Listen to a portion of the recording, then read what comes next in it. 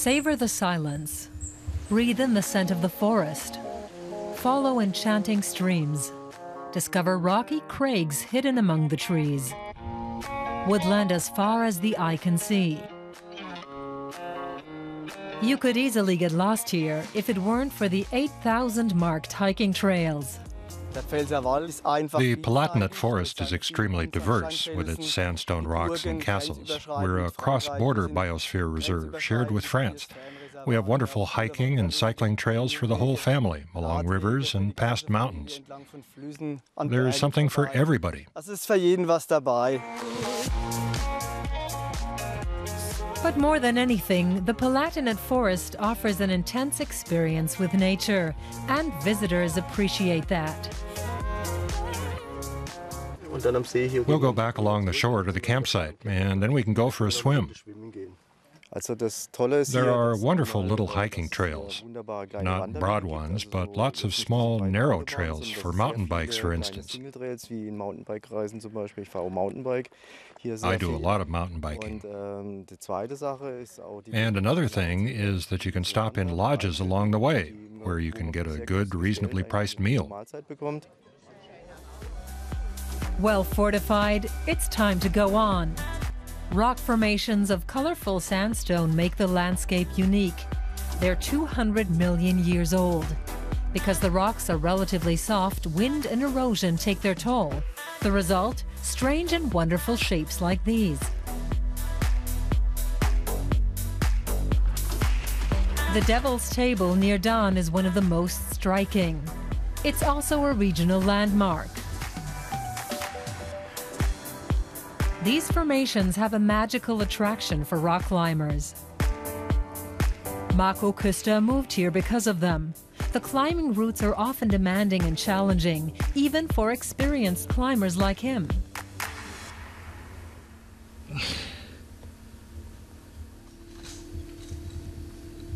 What I find fascinating in the southern Palatinate is the combination of old and new climbing styles. A few metal spikes used to be cemented into the rocks.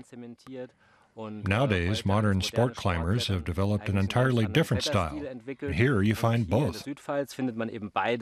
In order to make the world of the rocks accessible to as many people as possible, new walking trails have been laid out in the past few years. One of the most beautiful is the 90 kilometer long Felsenland Sagenweg. It features another of the region's highlights, its rock castles. The view from Wegelnburg, the highest castle in the Palatinate, is unparalleled. In the Middle Ages, this region was a center of power, with more than 500 castles.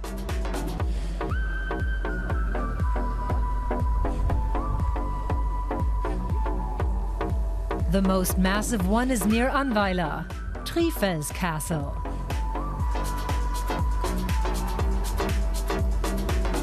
In the 12th century, it was the favorite castle of the Emperor Frederick Barbarossa and the treasury of the Holy Roman Empire of the German nation.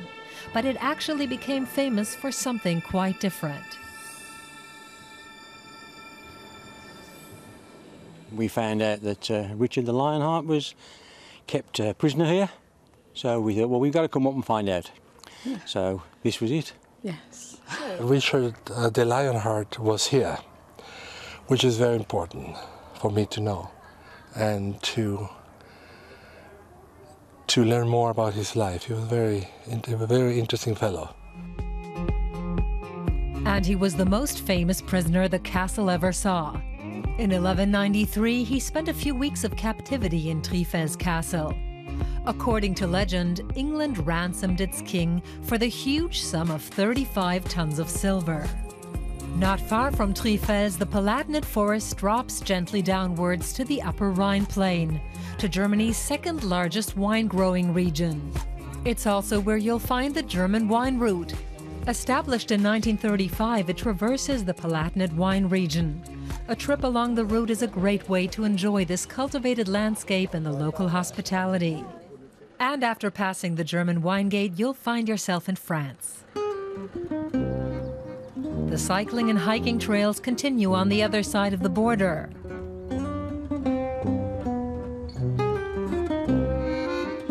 only the flair of the villages lets you know that you're now in France. And the French cuisine is more than tempting. Whether in Germany or France, visitors here can enjoy the best of both countries.